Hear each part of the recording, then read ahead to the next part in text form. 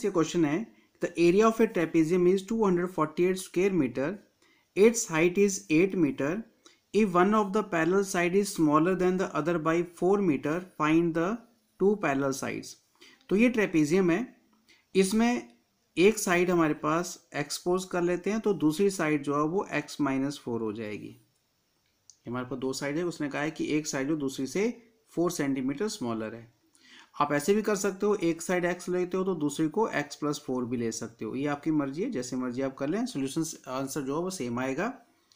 तो इनके बीच की जो हाइट है, जो हाइट है वो है एट मीटर ये जो पैरल साइड के बीच में तो जो हमारे पास एरिया इसका फॉर्मूला होता है half into sum of parallel side sum of parallel side होगी X plus X minus four into height height होगी eight metre equals to two hundred forty eight two से फोर, एट कट गया four पे तो मेरे पास आया ये two X minus four into four में पहले लिख लेता हूँ equals to two hundred forty eight अब इसकी कैलकुलेशन आप अपनी तरह से कर सकते हैं। मैं पहले इस फोर को हटा दूँगा तो वो फोर डिवाइड करेगा।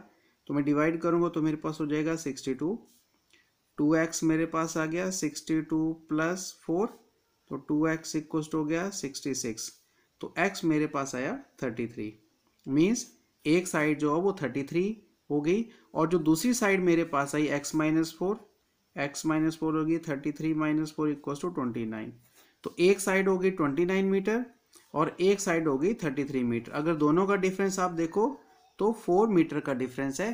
तो ये इसका आंसर है। Thank you